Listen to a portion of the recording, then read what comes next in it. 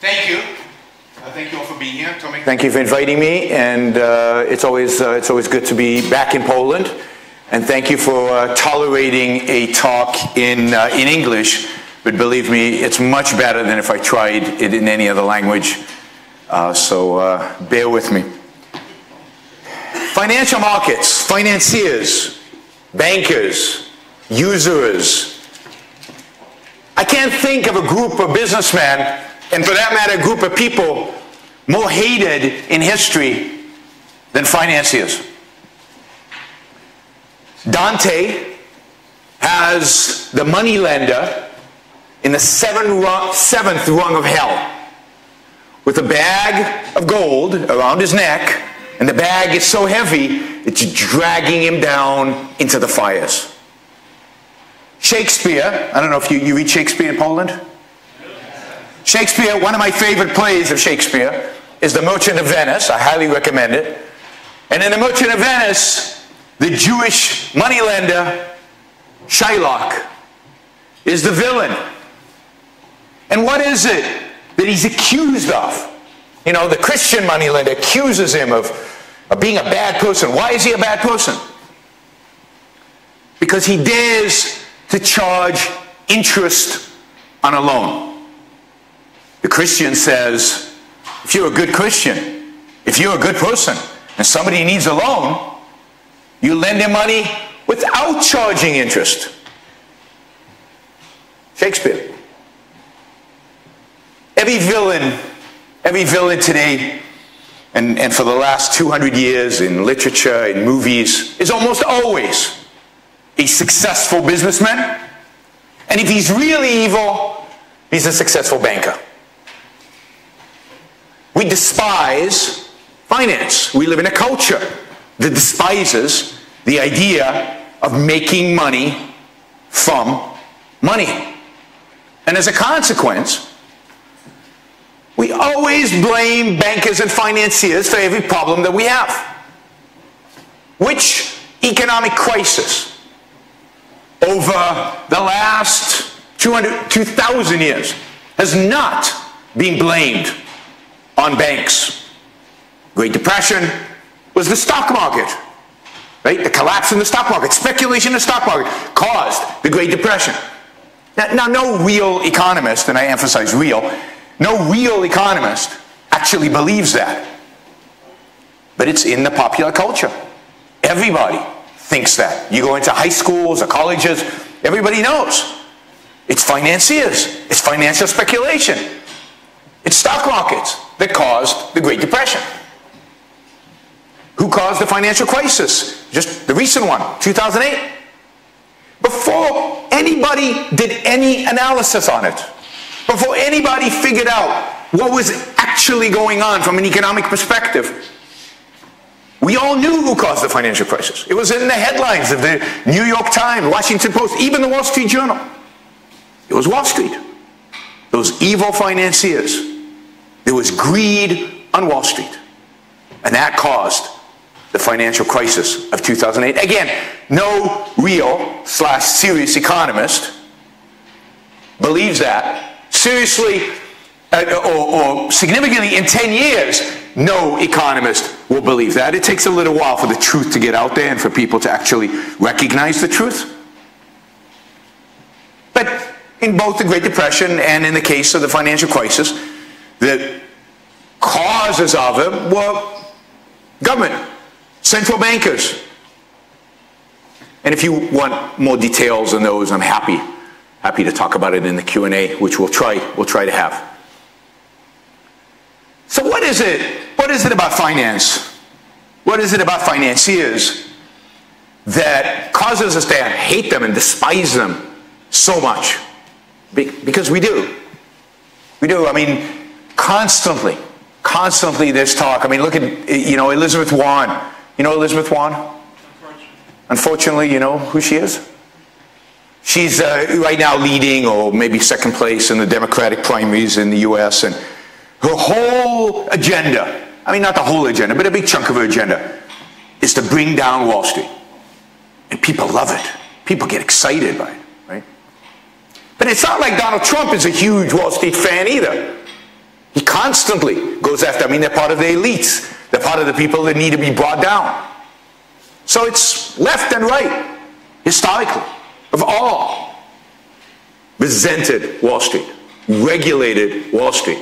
And not just Wall Street, but banks. There's no industry in the United States more regulated than banks. And of course, what's the number one way in which we regulate all banks in Poland, in Europe, in, in, in, in the United States, everywhere? What's the number one way in which we, we basically control the banking system, the finance system? What's that? Yeah, central banks.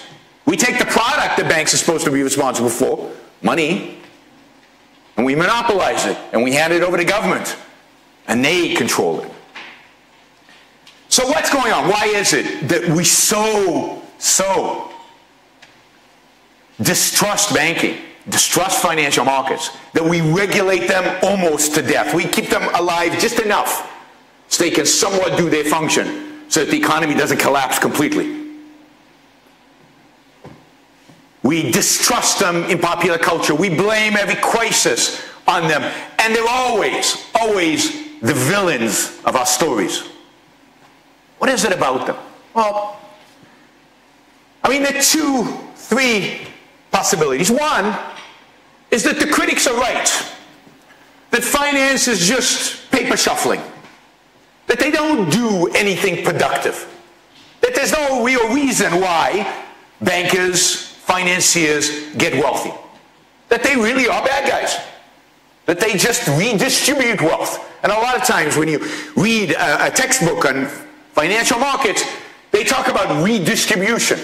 And that's what financial markets are responsible for. They take capital in and they figure out somehow who should be the winners and who should be the losers. There's a truth to that, but it's no effort involved. It's just some kind of random allocation or not random, corrupt allocation. So one possibility is they really are just paper shufflers. And the second is that there's something that the culture views as inherently evil in what they do, inherently immoral in what they do. So it could be an economic reason, or it could be an ethical reason, or it could be both. So let's take the economic question first. And look, I've got very limited time to give you an explanation for the economic function of financial markets. So this is going to be very quick and abstract and, you know, and we, we're not going to be able to do all the markets. If you want more of an explanation, it's in the book, right? And the book is somewhere here. I don't know where Tomek put it, but it's somewhere here. Um, and I've got a course on financial markets online on YouTube that lasts, I think, eight hours where I describe in much more great detail. But what do banks do? What do banks, what do financial markets generally, stock markets, banks, what do they actually do? What is their function? Provide they provide liquidity. To whom? I mean, what does liquidity even mean? Right? To whom do they provide liquidity? What do they do? What is the fundamental function of all financial markets and institutions? connect investors with companies. So on the one side, what financial markets and institutions do is they provide capital to companies. But how do they get the capital? How do they get the money? Savings, right? So financial institutions basically do two things. They aggregate savings and they turn them into investments. What financial markets do is they allow us, and this is really important, they allow us as producers, as individuals, as businesses to save for the future. And they actually provide us a return on that saving, whether it's through a savings account in a bank, whether it's through an investment in a mutual fund or, or, into the stock market or into a private equity fund or into a hedge fund or whatever the vehicle happens to be, we get to invest in the future and get a return on that investment. And the more risk we're willing to take, the higher the expected return that we will gain. So you go from anywhere from a bank account to a hedge fund the risk and return profile is going to be very different. But they allow us to make that kind of investment. What would happen if we didn't have financial institutions? You had some excess money. How would you, what would you do in order to gain a return on that money? You could put it in the mattress. You could dig a hole in the backyard and stuff it down there. Even if you had gold, gold only preserves its value. It doesn't, it's not an investment, right? Gold is just money. It's not an investable vehicle. So what would you do with whatever money you had? You would have to find a business to invest in. You'd have to develop the expertise to be able to evaluate the business. You'd have to take on the risk that you would never get, get a return on that money. You would have to do all that work involved in, and you couldn't diversify. Because you're not going to find 10 or 100 or 1,000 businesses to invest in. You could do one, two, three. It would see huge amount of work. And how many of us would know what the hell we're looking at? What we even 99.9% of people have no idea how to invest their money in a particular specific company. It's difficult. It's complicated.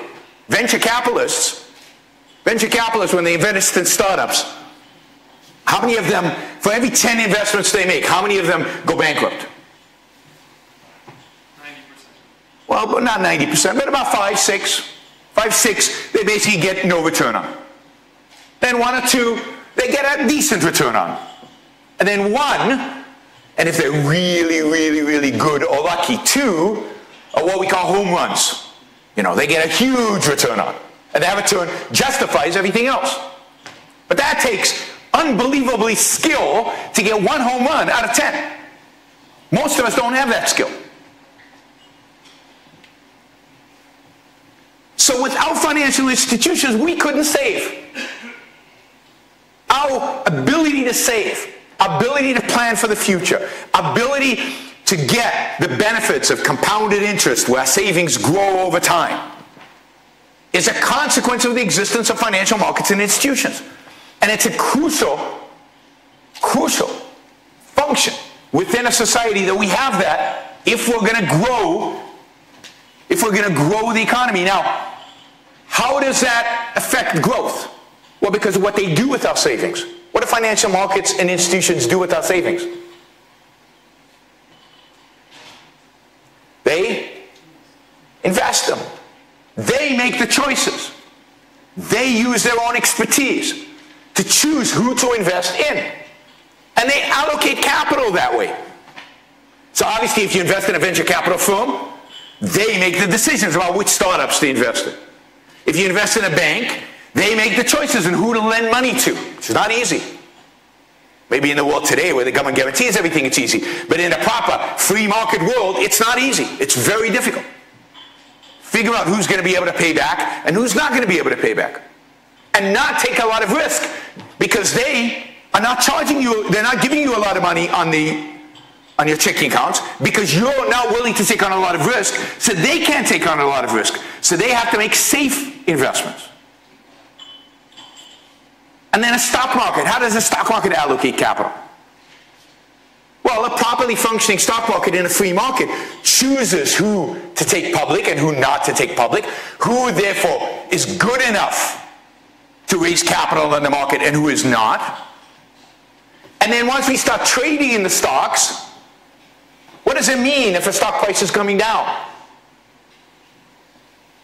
That we don't think the company's doing well. That we don't think the company has a future. And what do we mean when the stock price comes up? That we do believe in the future. That we believe they are succeeding and will succeed in the future. How does that affect how the company functions? Well, if the stock price is going up, are they going to be able to raise more capital and grow easier or harder? It's going up. Much easier.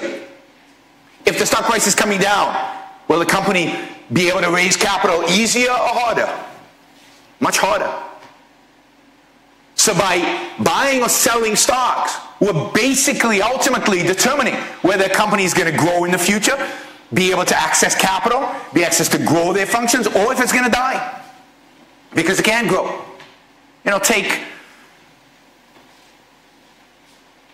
Take the, uh, you know, when automobiles were introduced, right? Long, long time ago in the stock market. At the time, there were a lot of companies that made buggies. You know what buggies are? The things behind the horses? Really, really good buggies. All kinds of buggies. From simple, cheap ones to really fancy, expensive ones. And probably the buggy makers were making a lot of money. They were doing really well. And they didn't see the automobile industry because that was like Silicon Valley, way, way far away. It was Detroit. Detroit was the Silicon Valley of America in the, uh, in the late 19th century, early 20th century. But the stock price starts plummeting. Why? Because investors in the stock market, the people who really know what they're doing, are always looking. They're always evaluating industries, entrepreneurs, who's doing what. And they saw Detroit. They saw the auto industry. And what did they do? They bought stocks of autos and sold stocks of buggies. So the buggy industry was declining. The managers didn't even know why. And could the buggies raise money, make, get a bank loan to grow? No, because people said, look, your stock price is going down. We don't know exactly why, but it's a bad sign. So that industry shrunk. And that capital went to the auto industry, which expanded. And you could see that in America in the 1980s. A lot of what today Donald Trump and a lot of people, you know, we lost manufacturing jobs. Yeah, we lost all the crappy jobs, all the terrible jobs that we weren't making any money at. We shut down factories, we closed them down, we took that capital, and we did what with it? Because capital doesn't just disappear. What happened to that capital? It traveled, it was invested where? In Silicon Valley. It's no accident that with the decline of what's called the Rust Belt was also the same time as the rise of Silicon Valley. The 1980s saw a decline in old manufacturing jobs where America was inefficient at, was not productive at, where labor costs were too high, and where people were not going to use the stuff anyway anymore. I don't know, like telephone cables. Don't use telephone cables anymore. And all that capital, all that money, all that value that was in that plant and equipment and in the labor shifted to Silicon Valley and created the explosion of growth that happened in the 1980s from Apple to Cisco to Sun Microsystems to uh, Intel to all the other companies that we know that just blew up in the 1980s. Where did that capital come from? It came from more efficient use in manufacturing. That's what finance did. Nobody, no central planner decided that. Imagine a bureaucrat going, oh yeah, Silicon Valley, that's where we should put the money. No bureaucrat has ever done that. Can do it. Central planners, for reasons that Mises discusses extensively in his writings, cannot make those kind of predictions. Are really terrible at it. Even industrial planning at the scale of the Japanese or now China is really, really bad at it. But markets, financial markets, the allocators of capital throughout our economy are brilliant at it. So no, finance is not about paper shuffling. Finance, in a sense, is the most crucial activity in a capitalist economy. There is no more crucial an activity in capitalism, in free markets, than the allocation of capital. There's a reason why bankers make a lot of money. Now put aside the cronyism and put aside all that. But in capitalism, the JP Morgans of the world in the days where there was a lot less cronyism, they make a lot of money because what they do is the most value-adding activity in all of capitalism. I know libertarians love to hate financiers like everybody else. But that is a massive error that you guys make. Because without this is how markets, free markets, allocate capital. This is how free market allows us to save and then decide who the winners and losers are going to be. But how do they decide who the winners and losers are going to be? Based on greed. This is great motivation. Right? They decide who the winners and losers are going to be based on who is going to provide the highest profit long term. Based on money, making money. And this is fantastic. Because this is the only incentive that really matters in a market. And where, who is going to produce the most profits long term? The people who are going to be most productive long term. The people who are going to enhance our standard of living, our quality of life most long term. The people, the entrepreneurs who are going to contribute most to the economy long term. They're the ones who are going to get the capital because they're the ones who are going to maximize the profits over the long run.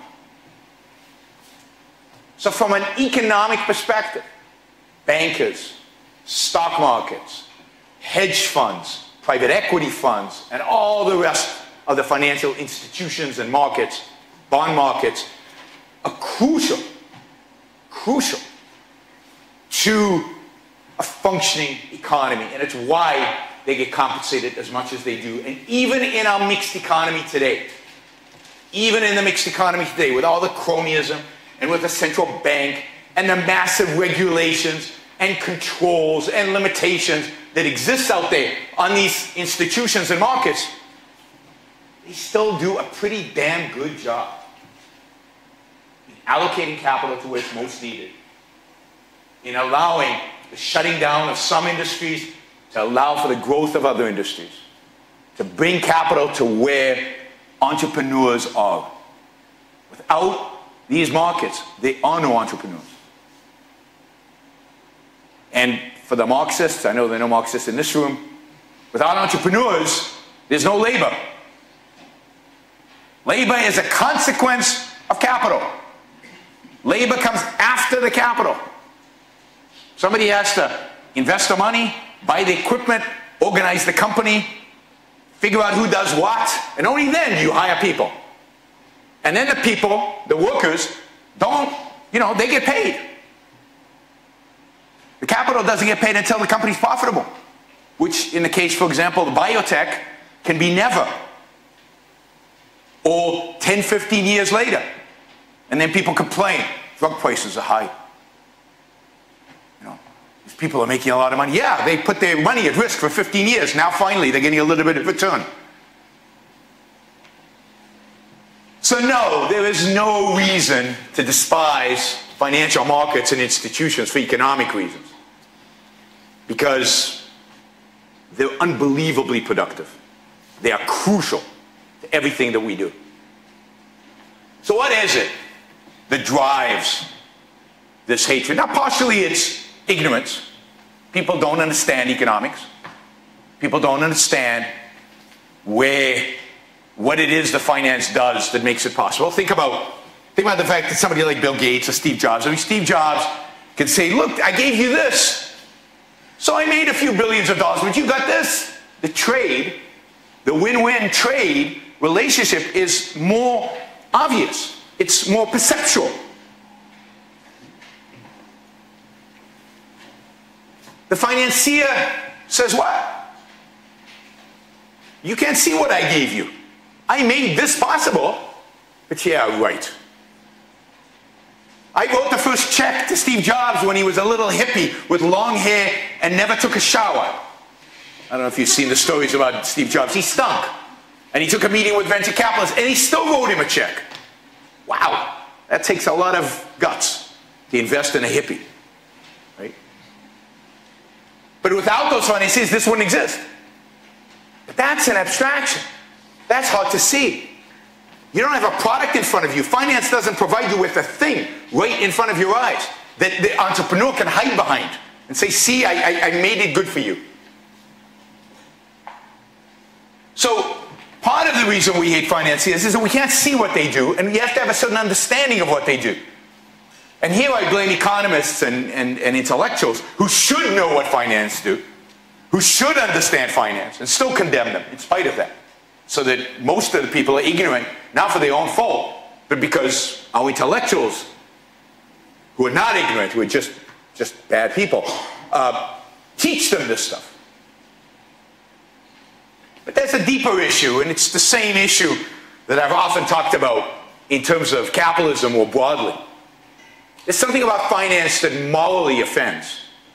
And something about capitalism that morally offends, but in finance, I think it's even more there.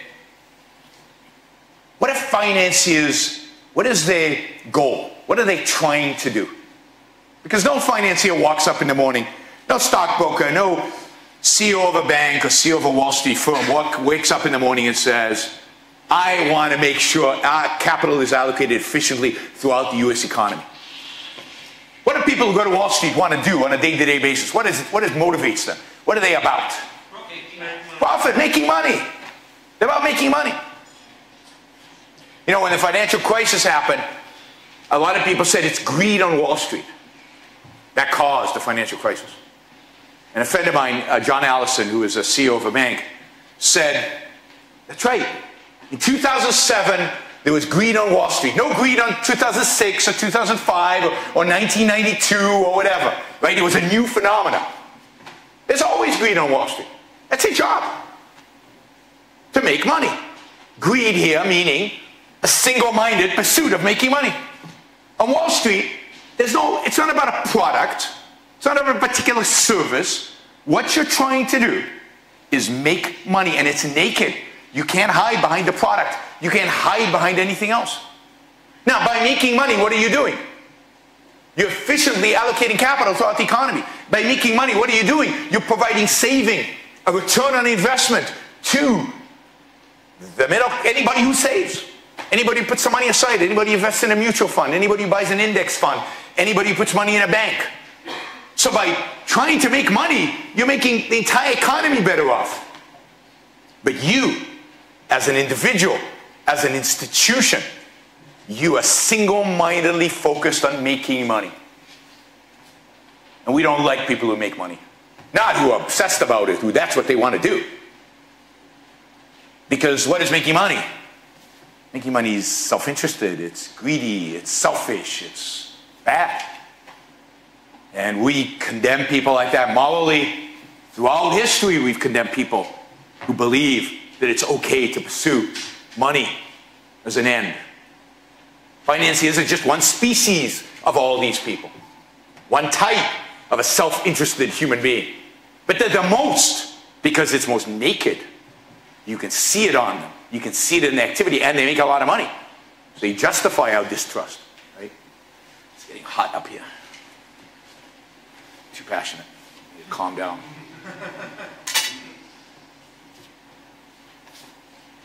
and of course, we live in a society that distrusts self-interest.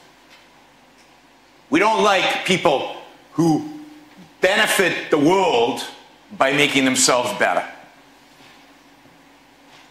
We like people who, I mean, in terms of morality, in terms of ethics, in terms of nobility, virtue, we like people who what?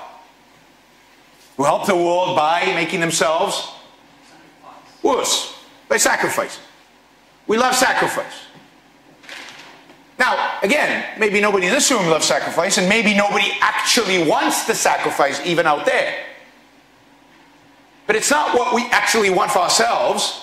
It's what we believe is good and noble. Most people don't live the life that they think is good and noble. They live a compromise.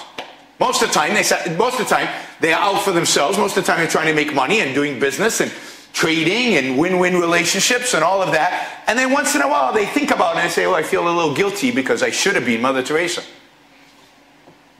That's what real nobility is. That's what real goodness is.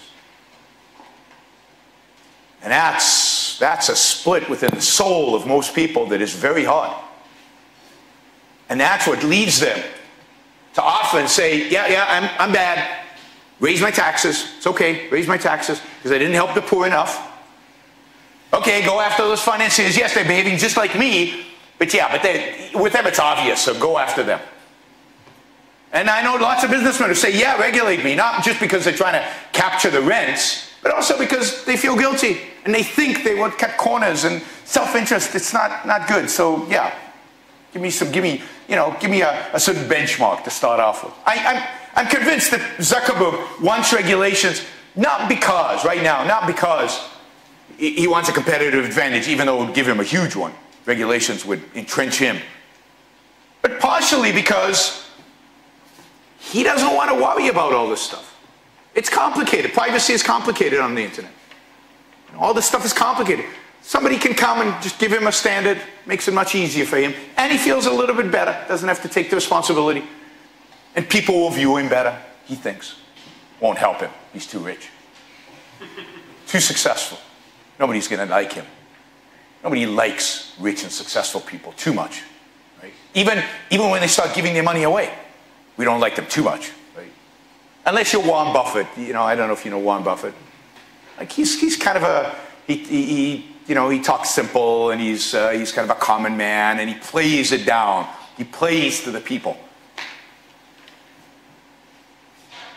So we have this attitude towards self-interest. Bankers are clearly and financiers are clearly self-interested. They make money. So we despise them. You know, take central banks. Why is it that we trust Bernanke? We trust, who's the guy now? Well, we don't trust Powell that much because, because uh, Donald Trump doesn't like him. But we trust central bankers as a culture. I mean, Bernanke is the hero of the financial crisis. He saved us. I mean, I don't think history is going to be that kind to him, but people think he was great. And look how much power we've given central bankers. I mean, no financier in all of history has had as much power as the chairman of the Federal Reserve has today. I mean, he can basically dictate the entire economy. He has control over the most important price in the entire economy. What's that price? Price of money, price of time, interest rates, the quantity of money, which is hugely crucial to every business decision in the entire economy, every saving decision, everything. Everything is dependent on this quantity and the price of money, which is controlled centrally by a central government, and we trust them completely. Why? We trust them much more than we trusted J.P. Morgan, the banker, the American banker who saved the U.S. economy in 1907. And we hated him. Why? Because Alan Greenspan and Bernanke and Powell and all these, and you know, whoever your new, you know, what's her name, Lagarde, the new uh, European uh, central bank? Yep. They're all, what is their motivation? What is the motivation of a central banker? What's the motivation of a central banker? I mean, not the real motivation. What is the motivation presented to the world of a central banker? They're there for what? Fairness, the common good, the public interest. They don't get a bonus. They don't make money. They don't get a percentage of the profits of the Federal Reserve, which makes a lot of money, by the way. All goes to the Treasury. They don't make money. What motivates them? Oh, we just want to make the economy good. We want to make sure capital is allocated. We want to, we're good central planners. We just want to make everybody happy. We're there for the public interest, the common good. And as soon as they say that, we go, okay, they might make mistakes, they might do things wrong, but their motivation is good. Their motivation is positive. They're not in it for themselves. And That makes us feel nice, warm, and fuzzy. Makes us feel good about them. Those bankers, though, they were all about making money. They were all about greed. They're all about themselves. We don't trust them. We don't trust them. When J.P. Morgan saved the U.S. economy in 1907, five years later he's brought in front of Congress. And the Congress basically says, how dare you make money while saving the U.S. economy? You should have just done it from the goodness of your heart. Who gave you so much power as to be in a position to save the U.S. economy? I mean, he gave himself the power by being a really good banker. No, we're going to take this away from you. We don't want private bankers to make these kind of decisions. We don't want private bankers to be in a position where they have that much power. We want to create a bureaucracy that has a hundred times more power, but is there for the common good and the public interest, and therefore it's okay. It's not about power, it's about motivation. Self-interested motivation, bad. Public interest, good. The general principle should be this. Anytime you hear people talking about the public interest and the common good, run. Get as far away as you can. I get greed. I get self-interest. I get people who want to make money. I understand how you do that. I know how to deal with them. Trade. Offer them something. They'll offer you something. The only way they can make money is by offering me a value. They don't offer me a value, I don't give them their money. My money. I don't give them my money. Public interest? I don't know what that is. I don't even know what the interest of this group in this room is. Do we aggregate it? How do we measure these things? Each one of us has a different interest. Do we have some common utility function up here? I mean, we don't even have an individual utility function that you can measure. How do we measure the common good, the public interest? There is no such thing. All it means is they're going to sacrifice me. That's all I know. When I hear public interest or common good, they're after me. They're going to sacrifice me or anybody successful. They're going to sacrifice the successful to the unsuccessful. That's what the common good and the public interest is. Or they're going to manipulate things to help the group that helps them politically. That's what it means. So, to summarize, finance is the most productive, the most important function within a free market. It's despised and hated because it's nakedly self interested. Unless we change our attitude towards self interest, and this is one of the many great contributions Ayn Rand, Ayn Rand makes to this whole debate about capitalism, about freedom, about individualism. Unless we change our attitude towards self interest, unless we develop a positive moral attitude, a positive moral view of self interest, financiers will always be hated, financial markets will always be regulated, and we will never, ever, ever have capitalism, free market, laissez faire free market that I think most of us in this room believe in. At the end of the day, the battle that we all face is a moral battle. It's a battle for a new morality, a morality that it respects, a morality that's focused on self, on the individual, on the individual's moral right to pursue his own happiness, which in many cases means to pursue his own wealth. Thank you all.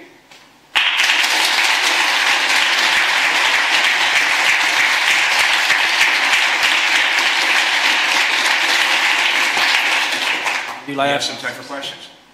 like to answer some questions? I love Our answering audience. questions, you know me. First one, three. Particularly from polls, they always challenge. Thank you. Um, my name is Paolo.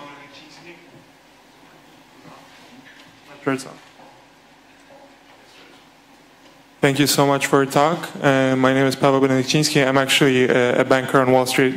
So thank you so much for defending us. I think it's uh, incredible. And my question is, where do you see the regulation going for Wall Street and overall financial markets after MIFID and after all the regulation that's been growing? Like I can see it at my own bank, the compliance team has been const- constantly growing. And uh, yeah, where, where do you see that regulation going? You think there's going to be a cap where people realize that it's counterproductive? So where, where's regulation in Wall Street and banking and finance globally going? Uh, I think it's going to get worse before it gets better. Um, it might get better at some point, but for that you would need kind of a, a Reagan Thatcher kind of moment where some people who have some respect for free markets and understand the, the, the incredible damage that regulations do to markets, uh, you'd have to have them become popular and, and, and become, get into positions of power. And I don't see that happening anytime soon. In America, uh, Reagan wouldn't even, you know, wouldn't be elected president today, wouldn't win the Republican nomination. He would, I don't think he would even run because it was so hopeless right now in, in uh, I mean, Reagan's attitude towards America, towards immigration, towards the regulation, towards generally the economy, is so foreign to Republicans today. It's a completely different political party. that I, I, you know, I just don't see that coming. On the other hand, if you look at, uh, if you look at even Trump, he has Mnuchin as, uh, as Treasury Secretary. Mnuchin is, you know, a, a uh, heavy, heavy hand at the Treasury. So if of all the regulations that everybody says Trump has reduced regulations, the one area where they really haven't, or they've done very little, is in finance. Because they, they you know, they came in, the Republicans said, we're gonna, we're gonna undo Dodd-Frank, which is this big regulatory bill after the financial crisis. They barely touched it, a little bit for small banks, nothing for Wall Street. Mnuchin's a, a, a, a you know, a, a central planner. He's a former chairman of Goldman Sachs. Regulations help Goldman Sachs. There's no incentive for for them to actually reduce regulations. And they're not, this administration is not going to do it in the financial markets. Plus, they fear the risks. So the funny thing is that when the financial crisis happened, everybody said, oh, it was deregulation. And I, I often debated this. I would say to people, name what was deregulated. I want a list of the things that were deregulated. And they, they can't come up with anything because nothing the Bush. One thing they can come up with. There was this deregulation of Glass-Steagall in, under Bill Clinton, not even under Bush. And then I say, show me one bank that was affected by Glass-Steagall that had that got into trouble during the financial crisis. It turns out there's only one, called Citibank. But Citibank always gets into trouble, so it's it, you know it's, it's, a, it's the most terrible bank in all of U.S. history. Uh, they can't make the connection, but in people's minds, deregulation of banks caused the financial crisis. And therefore, everybody's afraid to deregulate because they'll be blamed for the next crisis. So I don't know when the day will come when they deregulate. All over the world, they're increasing regulation. In England, uh, the regulations were fairly good. I mean, relatively good relative to America before the financial crisis, are much worse today. Uh, in Europe, in Europe, your banks, I mean, Western Europe banks are basically bankrupt. I mean, Deutsche Bank is a disaster. The French banks are a disaster. Uh, they, you know, you bailed out, you bailed out Greece in order to bail out Deutsche Bank because Deutsche Bank owned all the Greek bonds. But partially, Deutsche Bank owned all the Greek bonds because the governments wanted. I mean, one of the things that governments do with banks is they have this deal where you better buy our bonds. And we'll count them as zero risk, by the way, so you don't have to hold any capital against them.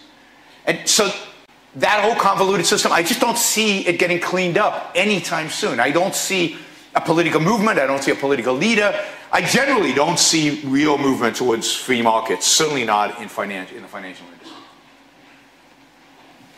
Hello, uh, my name is Łukasz Kępa. I'm a tax advisor, so one of very few trades hated almost uh, as much as financial, as people working on financial well, not, markets. Not really, not if you help me reduce my taxes. okay, so the we only, can. The only thing I would tell you is, under laissez-faire capitalism, you wouldn't have a job. Okay, so we can talk later. Uh, but I think I find your speech well, quite pessimistic, actually, because uh, because uh, from I understand that the tendency of hating uh, people working in financial markets, basically people who want to make money, uh, dates back very, very, very long time. Yes, like Shakespeare times. And yeah. you say that uh, we should we should counteract it, but but how? I cannot see any any any, any way of uh, changing people's attitude towards uh, towards such people and such activity. I, yeah, it's it, my talk is very pessimistic, uh, and my talks generally are quite pessimistic in that sense that to change the world is going to require much more than we are doing right now. And to change the world means, to change the world for laissez-faire capitalism, means change our ethical code, to change the way we view morality. And I know, because I've been here in Poland before, that you guys resist this, um, and people do all over the world, right? I think we have to turn away from 2,000 years of a particular moral code, which is anti, inherently anti-finance, and inherently anti-markets, and inherently anti-capitalist, which is a moral code of sacrifice, a moral code that views the good as that which causes us pain and suffering versus the good as brings us wealth and prosperity and happiness. So as long as we hold an altruistic morality, a morality of sacrifice, we will not have freedom. Any ideas where to start? Yeah, start with Ayn Rand. Start with Ayn Rand because she is the only thinker, the only author that has presented us, since Aristotle, that has presented us with a moral code that replaces the conventional moral code. And unless we're willing to do that, then forget it. And in my view, the biggest tragedy of the liberty movement for the last hundred years has been that they have not taken Ayn Rand seriously enough, particularly in her morality. Not in energized around capitalism and so on. You've got, you've got great economists to deal with capitalism, right? Mises and so on. But philosophically, and without taking whom all of you seriously in terms of self-interest, We will not change the world out there. It will always, it will, it will go like this, but it will always rebound against us because people will always feel the guilt. They will always resent success. They will always resent the self-interest of capitalists and financiers and, and business people. So we, you need, you know, I've got a book, somebody has it here, uh, called uh, uh, Free Market Revolution. In my view, the revolution is not an economics revolution. We've had great economists. They, we, you know, we, we, nobody's done a better job explaining free market economics than the people who, have, you know, that, that we have already.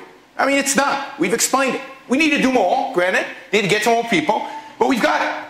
That's not the challenge. What we need is a moral revolution, and that's only Ayn Rand can get us, and that's why you should all, there's Atlas Shrugged in the back there by Ayn Rand, but read Virtue of Selfishness. There's a book. I don't know if it's in Polish. Is it in Polish? Yes. Read Virtue of Selfishness. That's, that's the moral revolution right there, and unless we're willing to embrace that, we lose. Uh, Artem Rushin. So, uh, as I understand, uh, regulations will collapse actually in somehow the market, I mean financial market. So, less and less money will uh, stay there, and uh, money usually want to be invested in uh, places where they feel good and can multiply. Yeah. So, is, in this moment, as we uh, collapsing, for example, uh, Wall Street, where those money will go? How do you think? Well, I mean, that's the, that's the big question. Where does the money go? And, and right now, if you look at what the, the politics of it is, where the, where the money wants to go, where, where the politicians want the money to go, is to Washington. It's to, you know, government. It's to the growth of the U.S. government. I mean, Elizabeth Warren, Alexandria Ocasio-Cortez, the Democratic Party generally has plans to spend, to consume, right? Government, government spending is consumption. It's not investment, it's consumption. They want to consume trillions and trillions of dollars, whether on healthcare, on a Green New Deal, on all kinds of stuff. They have great plans to take all their money through a wealth tax. And by the way, what does a wealth tax do? It reduces the amount of money that goes into financial markets. Because who puts money in financial markets? The rich. Because the rich don't consume, they save. So it's, they want to reduce saving and increase government consumption. So the money is likely to flow to government. The other thing you're seeing, I think, globally, one of the reasons interest rates are so low in the world today, I mean, put aside central banker manipulation, because that's part of it, a big part of it. But there's also another aspect for why interest rates are so low. And that is, in my view, because the investment opportunities, there's a shortage in good investment opportunities. There's a shortage in entrepreneurs. If you're in Silicon Valley today, it's relatively easy if you have a good idea to raise capital. The challenge is there are not enough people with good ideas. There's more capital than there are good ideas. So now that I think is a consequence of statism, of, of uh, you know, people being trained not to be entrepreneurs, not to innovate, not to think for themselves. It's a consequence of bad education. Um, you know, it's, it's, it's, and it's a consequence of the fact that there's still parts of the world that are very, very, very authoritarian. Right now we have a shortage of, I think we still have a shortage of good investments. And that is only going to get worse because as government grows, they're going to suck, you know, they, people are going to have less ideas. The other thing the regulation does, one of the things the regulation does, I'll give you an example. I, I'm a strong believer that if we didn't have regulation on biotech, for example, we would have today technologies that would extend life significantly. That we would be living well into our hundreds today, if not for the FDA, the Food and Drug Administration in the United States. So the FDA has basically said they will not approve drugs that extend life. So if you're a venture capitalist and I have a great idea for a drug to extend life, are you going to give me money?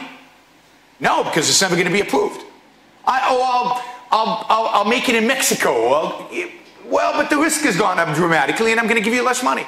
Because in America, you won't be able to sell it. So what regulations does is it limits the amount of investments we can do. Right? Like uh, Elon Musk has this drilling machine. Have you seen this drilling machine that builds these tunnels? It's really amazing, right? And it builds tunnels really, really cheaply. But who are the only people who build tunnels? Who are allowed to build tunnels? Who think of building tunnels? Governments. Right? But imagine if that was all private and suddenly you had an investment boom into building tunnels, but you know, you're not going to get that. So Regulation limits the possibilities of investment. And therefore, I think today there's a shortage of investable opportunities. That's why not only are the government controlled interest rates low, but generally the yield curve is flat. There's very little competition for the dollars that are available to invest. Yeah, and in this curve, I understand that we're going down, but uh, in some in some other because uh, it's still uh, So what will happen when it all collapses? Uh, no, the, what's all savings which will not uh, because as a smart people, peop smart people will not invest in uh, economies will, which will collapse. So they have to invest somewhere else or just uh, or not, or buy gold money. and bury it in the backyard, Oh, which a lot of people are doing. And I think when the collapse happens, that's the first instinct is to hoard, because you don't know what's coming. And gold is a nice way to hoard because it has some inflation protection. But that's the real danger is, is people stop savings, people start, but that's, that's doom and gloom. That's, uh, but I, I think you're seeing more of that. You're seeing more people looking for safety. Or you will see that when the collapse happens, which means bad for investment and entrepreneurs. Questions? Uh, I've got a question. Yeah. Uh, why do you think uh, so many Austrian economists, uh, past and present, who should be advocates for freedom and capitalism, are so adverse to fractional reserve lending by banks?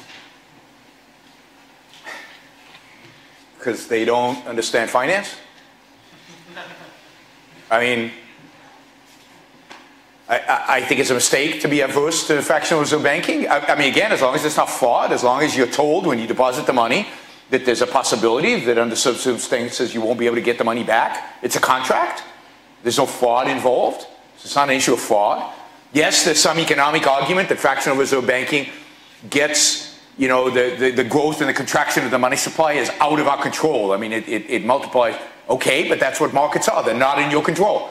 Um, uh, you know, and, and, and Selgin and White have done some good analysis and good studies that show that that is not a threat, that it's fairly, that it's stable over time, that it doesn't create kind of the business cycle as described.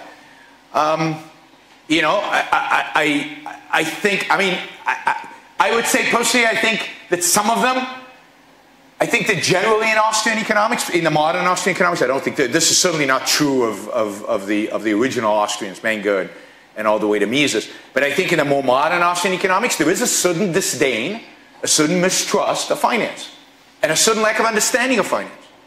I mean, one of the things I find frustrating is that Austrians don't talk about finance, but finance is crucial to economics and to understand economics. I mean, we talk about interest rates in, in economics.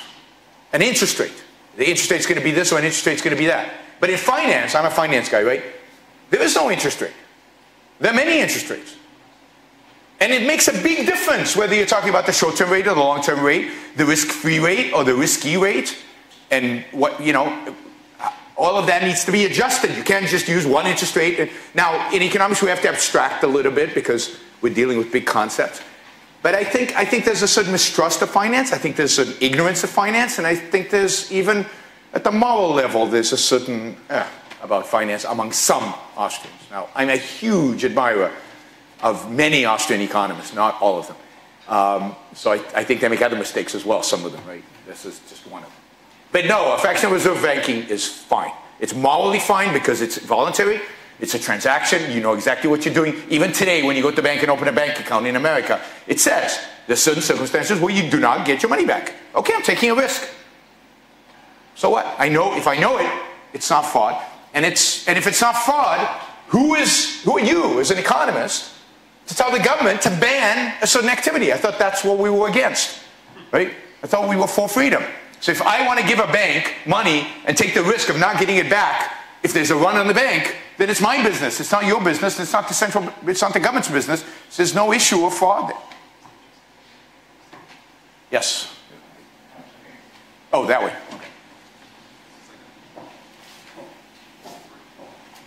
Okay. Hello. Uh, hi, uh, Dariusz Ciszega. I wanted to ask you about what do you think uh, the causal re- relationship between bad business practices and regulation is? Is are bad business practices a result of regulation, or is it vice versa? Um, I think it's both. So there's no question that sometimes businesses behave badly. I mean, sometimes we behave badly. right? As individuals. Sometimes businesses behave badly. Politicians then use the bad behavior of businessmen to regulate them.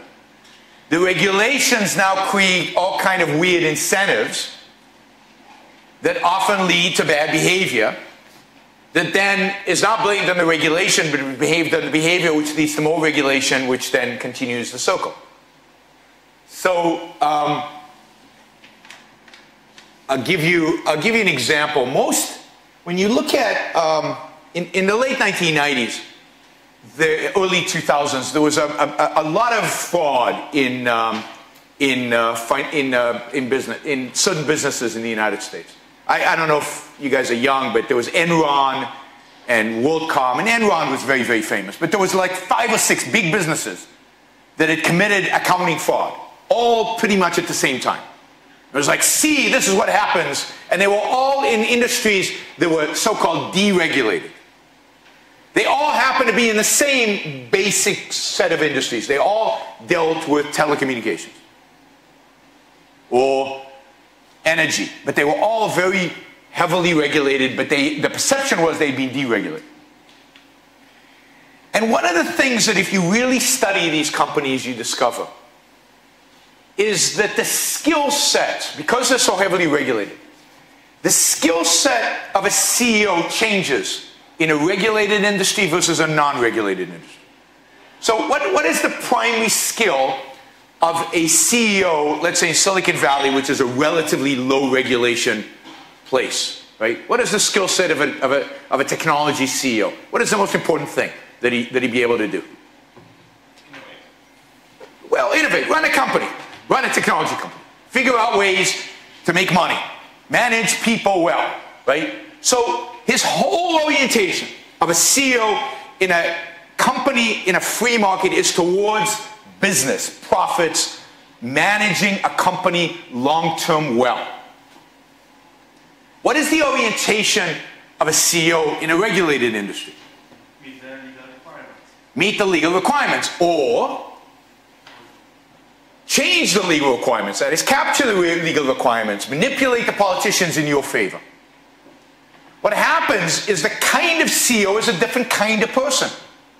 The kind of person who runs a company well in a free market is not the same person who runs a company well in a regulated market. In a regulated market, you need to be a politician. You need to be able to schmooze with politicians. You need to be able to manipulate politicians. You need to be able to be nice to politicians. You need to be a schmoozer, a social animal that villains in Ayn Rand's Atlas Shrugged. They're the kind of CEOs who run regulated businesses. And they run them, quote, well, in the sense that they capture rents, in the sense that they make the politicians leave them alone.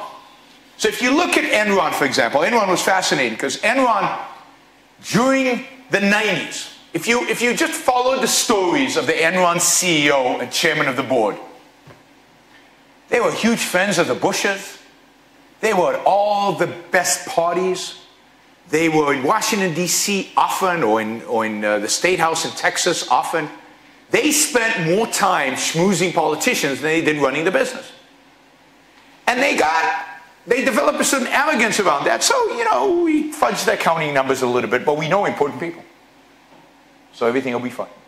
And so many of these companies, that was the tendency. Even some entrepreneurs who in the beginning of their career were real entrepreneurs got to a point where they had to deal with Washington every single day because that was their business, got corrupted by that fact. And, and whereas during this period, no companies in Silicon Valley committed fraud, except for one, I think. But there was almost nothing going on there. It was all in these heavily regulated industries because that supports it. So it goes both ways. It's usually an excuse. Oh, they, the food was not healthy or whatever, right? You know, the, the, the, meat had bacteria in it, so we regulate the meat. But now that you're regulated, first of all, you're looking for loopholes. Secondly, you become the kind of company that I just described. So it's a self-fulfilling kind of circular process. Somebody have a microphone? Hi, uh, Roman Wazarski. Um, thank you for your lecture. Very interesting things uh, you said there, uh, especially about the uh, this, the worship of the sacrifice. Yeah, that we sacrifice ourselves for somebody else, uh, gain nothing, and, and we worship that. Yes. Yeah, that's uh, that's definitely wrong. But I don't consider uh, sacrifice itself as uh, to be something wrong. You know, uh, because uh, definitely to, to make money, to become a capitalist, to, to succeed in anything, you have to you have to sacrifice. Only you sacrifice in the in an Yeah. individual dimension, right? Yeah, obey, so- obey certain order, right, and etc. etc. And um, my question is basically um, on something else, but um, Can I answer that question before you get Yeah, to that or yeah, something yeah. else? Because I disagree with you. Um, so one of the ways in which they get us to uh, embrace this morality of sacrifice is by diluting the word, is by changing its meaning. What you do in a business is not a sacrifice. You do not sacrifice in a startup. You do not sacrifice your money when you invest it or save it. That is not a sacrifice. Because what are you pursuing when you're pursuing, when you work really, really hard in a startup and you stay up really, really late and you never see your family and you're really working hard? What, why are you doing that? Because it's the most important thing to you. It is. Otherwise, you wouldn't do it. It's the most important thing to you. So you're not giving up. Sacrifice, the meaning of a sacrifice, the, the real meaning of sacrifice, is giving up something really, really important for something less or nothing. If I, uh, you know, if, if, I- if, I, if I buy an iPhone for $1,000, I'm not sacrificing $1,000 to get an iPhone. That's a distortion of the word. Because I'm getting something in return of higher value than what I gave up. You're giving up by, by working on your startup, you're giving up something really important, your family, let's say. But you know what? The reason you're doing it is because at that point in time, your work is more important to you than your family. And if it's not, stop doing it. Go back to your family. But you recognize that long term, you will be able to take care of your family, you will be able to take care of yourself, and your joy and your happiness are dependent on you working hard really right now. And that is not a sacrifice. When a basketball player doesn't take the shot and passes the ball because another player has a better shot than he, he's not sacrificing. He's winning. He's engaging in activity that leads to him winning. Because he values the team win over his personal statistics. Because at the end of the day, he's going to be judged about whether he's a winner or a loser and passing the ball. So it's not being selfish to take a, a stupid shot when you, you're not going to make it. I know you guys watch basketball. When you, when you, you know, when you, when you're not going to make, when you're going to make the shot, that's not selfish. That's stupid. The selfish thing is to pass the ball so you can win. And that's not a sacrifice. So we use the term wrongly. Sacrifice is giving up something really important to you for nothing or for something less important. That's a self-sacrifice. What you do at work, that's not a sacrifice. Not really.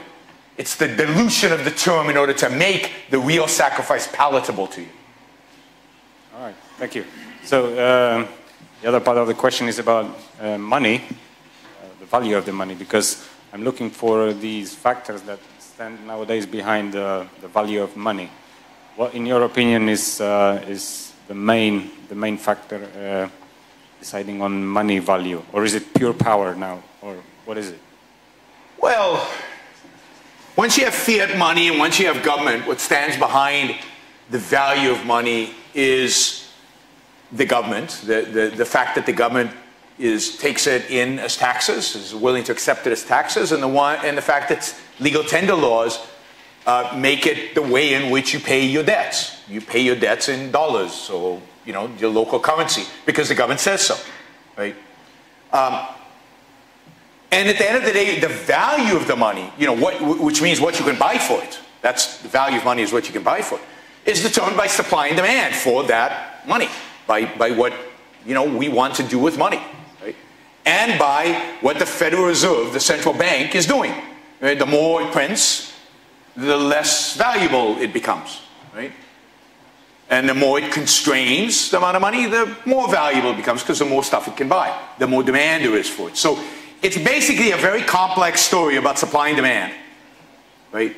Both our demand to consume, our demand to, to, to, to invest, our demand to save, but also the supply that the Federal Reserve provides and the price at which it is willing to provide. So But in terms of what, it, what gives value to, to this five euro piece of paper, I mean, the governments that stand behind it. And because it's governments, to some extent, what this is worth is, is random. It's, it's, it's dependent on the whim of central bankers. And that's the sad state in which we live. You know, in a laissez-faire capitalist world, money would have to be backed by something real and would be issued by banks or by anybody. I don't it doesn't matter. But it would have to be backed by something. And this would be, you could take this and exchange it for the thing that represents money, traditionally, usually gold. But that's real money. This is, we call this fiat money because it's kind of not really real. It's pretend money. But it, it functions as money because it's all we have. Because the governments have given us no choice. I can't see if anybody has a microphone or not. Uh, Tomasz Waszczyk, thank you for a great talk. And uh, I would like to ask from the CFA point of view. And they Ask what? I'm sorry. CFA, CFA Foundation. Yeah, they sent the information that the uh, the area of low interest rates will continue in long term. And what you think about the interest rate within 10 years, whether they are going to rise or not? Then If I knew, maybe, I'd be maybe 20 years, maybe 20 years. What's that? Maybe 20 years, within 20 Over the next 20 years. Wow. I mean, I don't know what interest rates are going to be tomorrow, never mind in 20 years. But look, negative interest rates is the dumbest policy in human history.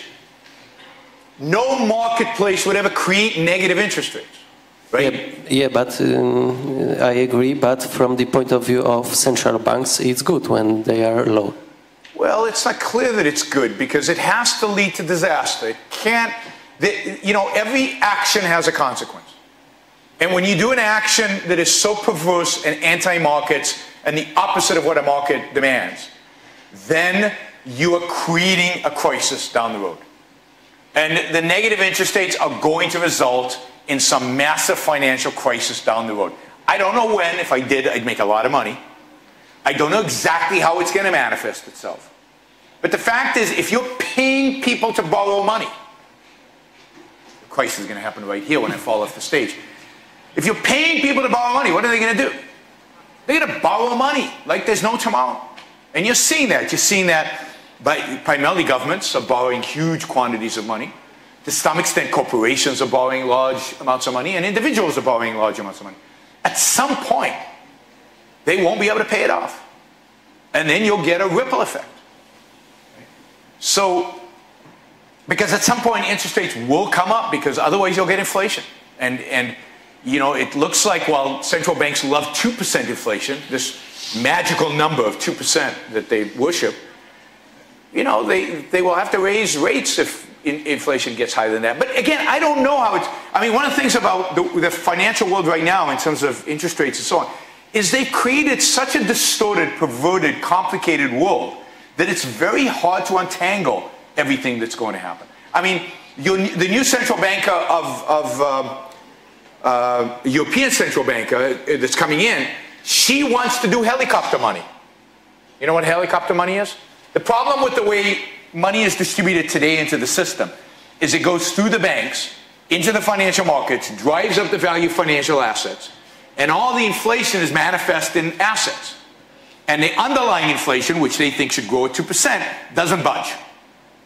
So she says the way to get inflation up, the way to get the, the way to reduce inequality, to get economic activity going, to get consumption going, they worship consumption. That's the other thing. They worship consumption. They think consumption drives the economy.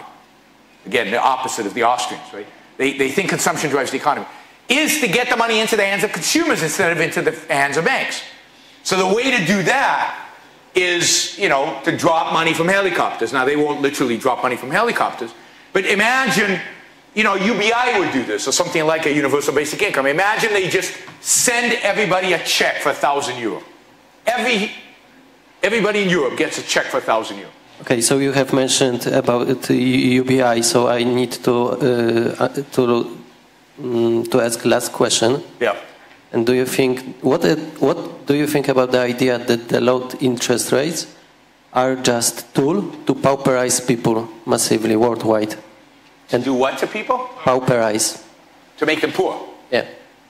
So. And once more time, thank you for a great talk. So interest rates, you mean negative interest rates? So negative interest rates are means to turn people poor.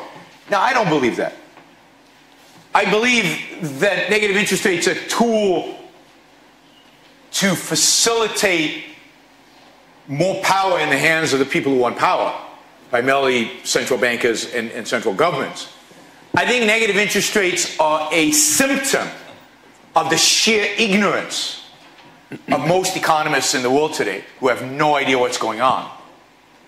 I think negative interest rates are an act of desperation on the hands of central bankers who fear the thing they fear more most than anything else is a recession. And a recession would actually be good because recessions clear out the garbage. And one of the big problems of the last few recessions is we've not allowed the garbage. You know, all banks were bailed out in America instead of letting them go. Some of them go bankrupt. Um, uh, auto companies in America were bailed out. Uh, uh, many industries were bailed out. Greece was bailed out. So the thing they they resist is the market mechanism, which is a recession, to clear out the malinvestment, to clear out the garbage, to clear out the bad investments. And negative interest rates facilitate more bad investments and the, the continuation of bad investments. So I think it's, it's a sign of how bankrupt and incompetent and stupid and power lusting they are. Because the more power they give to the market, the weaker they are. This is a way to limit the market's power. You know, Japan, in 19, I think it was 1991, Japan had the big um, uh, stock market drop and really has never recovered. Has, has, has been stagnating since then. They've had stagnation. Nothing. And, and I'd say the biggest reason why the Japanese economy never recovers because it doesn't allow bankruptcies. It doesn't allow people to go out of business. It doesn't allow companies to fire workers. It doesn't allow the markets to adjust. So it's stuck at the 1991 level of employment of companies, and it's all locked into that. And you don't get what Schumpeter called the creative destruction that comes from some companies going out of business and new companies being born and capital flowing from the bad. What I said about the 80s, where capital went from the, the Rust Belt to Silicon Valley, that can't happen in Japan. It's all just static. And Europe is, is becoming more like that. And America, America is becoming more like that. So maybe the America wants to be the Japan. Well, uh, yes, America wants to be Japan, and Europe wants to be Japan, and, and, and now it looks like China wants to be Japan. So, yes, the Japanese model is dominant, partially because people think, oh, it's stable, and partially because people don't get it. People don't, they don't want uncertainty involved in bankruptcy, in, in capital being reallocated, in, in people laid off. They don't want the social upheaval of people losing their jobs. They, what they want more than anything is stability and safety. And it's not just the politicians, unfortunately. It's us, it's the people. We want stability and safety. And if you want stability and safety, what are you giving up? Wealth, prosperity, progress, you know, and, and happiness. You can't be happy with safety and stability. So you're giving up all the good stuff for this, and that's what I think central banks are, are trying to achieve. So it's not like, you know, the, the rich people get together in some castle somewhere in Europe and say, oh, we want to make the world poor, so let's raise interest rates. No, it's, it's much more incompetent than that. I mean, I don't, I don't think, I don't think, I don't think the conspiracy theories work because I, I, I don't think the people who, A, I don't think people are that, quite that evil, but, or at least those people are not quite that evil, but also because they're not that competent. Central planning doesn't work, including conspiracy theories. Conspiracy theories are massive central plans which don't work, right? So it's more incompetence, it's more preserving power and doing what short term will preserve power than it is trying to make the world poor on purpose. Okay, last question here. Hello, I'm Maxim Kuharski, and uh, I have a question. I hope, you, I hope you agree it's easier to change a person's mind on economics than on their subjective fundamental values. Therefore, if we try to change a person's mind on their values and try to make them egoist and then promote capitalism, I think we're scaring them away. And I agree that capitalism is inherently egoist, as egoism is a self-preserving uh, behavior. But shouldn't we present capitalism as a means to common good, so as a means to uh, more more wealth? Uh, wouldn't that be a better way to, of achieving our goal? So free free market capitalism. Thank you. No. and that's how we'd be doing it. That's how everybody does it, except me. Everybody does it that way. Everybody presents capitalism as good for the common good, for the public interest. It's all utilitarianism, from you know the Austrians to the Chicago School to all the great economists have presented this over and over again. And it is in the common good, and it's obvious that it's in the common good in the sense that common means good for individuals that make up the common, right? I mean, and, and all the evidence in the world is out there that it's good economically. It creates wealth, it creates prosperity, much better. I mean, everybody can see it, right? North Korea, South Korea, we've all done the examples. Poland, under communism, Poland today, a little bit of capitalism goes a huge way to create enormous amounts of wealth. We all know that. Everybody on planet Earth knows it deep down in some way. They know. Because if not, they're the biggest liars in the world and they're lying to themselves. They know. Even Elizabeth Warren knows. More than anybody, maybe. Bernie Sanders, all these people know that if you want wealth, if you want, quote, the common good, capitalism is the best way to do it. They don't care. They don't care. Morality trumps economics every single time. And it's true. You can convince some young people, and I've seen this, the, the, the, the liberty movement is dominantly young people. And you can convince young people of economics, and then they go off and they leave their students for liberty, or they leave their things and they go off into the real world, and they have a family, and the morality kicks in. And 10 years later, they're all kind of middle of the road centrists or maybe even socialists. Because people are not driven by economics. You're not going to change their mind over, you'll change their mind for a little while, but not over a lifetime. But if you can get them on the morality, the economics is easy.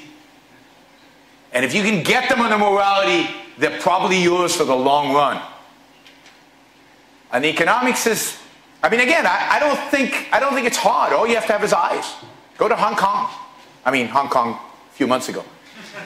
Uh, I mean, it, it, it's tragic. Does anybody everybody knows why Hong Kong is rich. Everybody knows why Hong Kong is rich. No natural resources. There are no excuses why a statist would justify the wealth of Hong Kong, right? Like America, they say, oh, we exploited people in, and uh, in America, we had natural resources, a rich country. Bullshit, but okay. Hong Kong has nothing except freedom. And it became the richest, I mean, on a per capita basis, richer than America, with nothing except freedom. So all you need is eyes and a bit of a mind and look around the world and see what works and what doesn't, and you should be a capitalist. That hasn't worked, and it won't work, and it can't work, because as long as you're pulled in another direction, as long as you say, yes, I made money, but it's evil, inequality is high. Who the hell cares about inequality? But everybody cares now about inequality. So inequality is more important than the common good wealth creation, freedom, all of that. Why is inequality more important? Because the needy are needy, and you have to sacrifice for them. That's what the morality demands. And who are you going to sacrifice? Well, the people who have to the people who have not. And that's what every statist does. The people who have sacrifice to the people who have not. Or sacrifice the people who are not like us to the people who are like us. The racist version or the class version is the people in the upper class to the people in the working class. It's always sacrificing some to others. And you can't get out of that because it's a moral argument. There is, I mean, let me end with this. There is no economic argument for statism. There is no economic argument for statism. Paul Krugman's not a real economist. Stiglitz, deep down, is not an economist. Thomas Piketty is a lying, deceiving something, but not an economist. There's no economic theory in Das Kapital for the 21st century. There's data. Data that when people looked very careful at it was manipulated, was not clean, was not right, was not good. These people are not honest because there is no economic theory for statism. We won that argument. Mises won the argument. It's over.